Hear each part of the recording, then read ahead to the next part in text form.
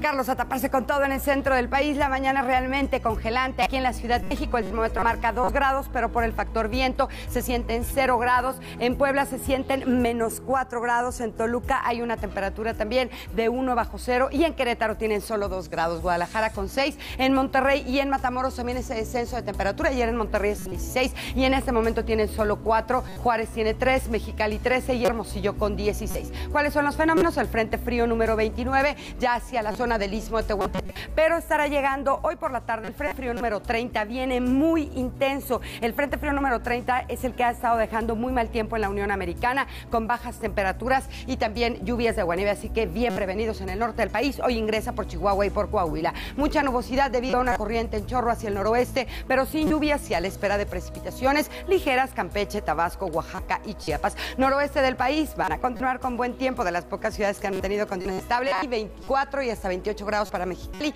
calorcito para Hermosillo con 33, Juárez y Chihuahua van a mantener temperaturas de 21 a 23 grados, Durango a los 26 y Mazatlán que se va a los 28. Hoy en la ciudad de Monterrey el termómetro a los lados con cielos soleados, también con cielo de 23, Luis Potosí con 21 grados, tiempo seco. En la ciudad de Guadalajara también hay buenas condiciones meteorológicas, hoy se van a los 26, en León buen tiempo con 26 grados, en Querétaro les digo mañana fría, pero ya durante el día muchísimo sol, lo mismo para Pachuca, Tlaxcala con 18. Aquí en la Ciudad de México los termómetros se van a elevar gracias a que el sol va a estar pegando con fuerza a los 22 grados. Importante ponerse un bloqueador solar, no hay que confiarse por el frío. En tanto en Cuernavaca 26, Acapulco con 30 y bueno, para el sureste del país. Este el frente frío genera algo de viento del norte, pero ya se estará disipando en unas horas para la península de Yucatán, Mérida 26, Campeche con 24, lluvias para Villahermosa. El puerto de Veracruz ya deja ese evento norte. Carlos, vamos contigo. Muchas gracias, Raquel. La Secretaría de Gobernación emitió declaratorias de emergencia extraordinaria en varios estados del país